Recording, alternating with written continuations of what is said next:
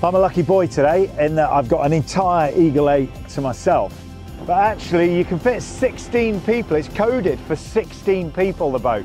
And there's 11 seats and the seats are, are quite ingenious actually.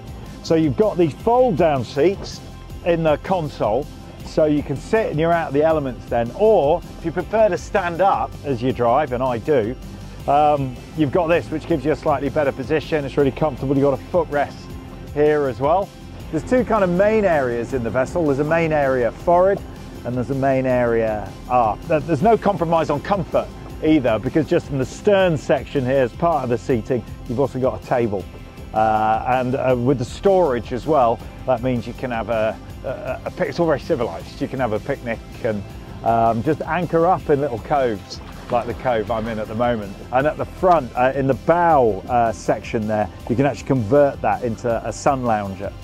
Um, which on today it's sort of semi-sunny, so today I'm going to use it just as a, uh, an area to prepare my photography kit just before I jump in. The Eagle 8 is 8 metres long, but she's quite beamy, she's quite broad. She's 2.9 metres across the beam wide. And what that means is real stability, and particularly if you trim the engine out a little bit when you're cruising, that brings the tubes down onto the water. She's a really solid, stable platform then. And when you're cruising any distance, that's a really, really nice feature. And talking about distance, the Eagle 8's got a 340 litre fuel tank. She can take up to uh, a 350 horsepower Suzuki and what that means with the lean burn technology and cruising at about 3,500, 4,000 RPM, you get good range then. You can go 200 to 300 nautical miles in this vessel and that opens up a vast stretch of coastline.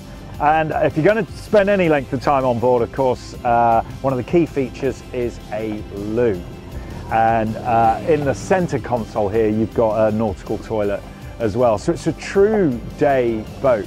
I think the Eagle 8's a great fusion, really. It's a fusion of adventure and excitement and high performance, but also comfort and safety and a little bit of luxury and convenience as well. And there's a lot of thought gone into the layout of this rib. And in terms of a family or a group of friends, or just somebody who wants to get out and explore with some level of comfort, I think the Eagle 8's a really top rib in that regard.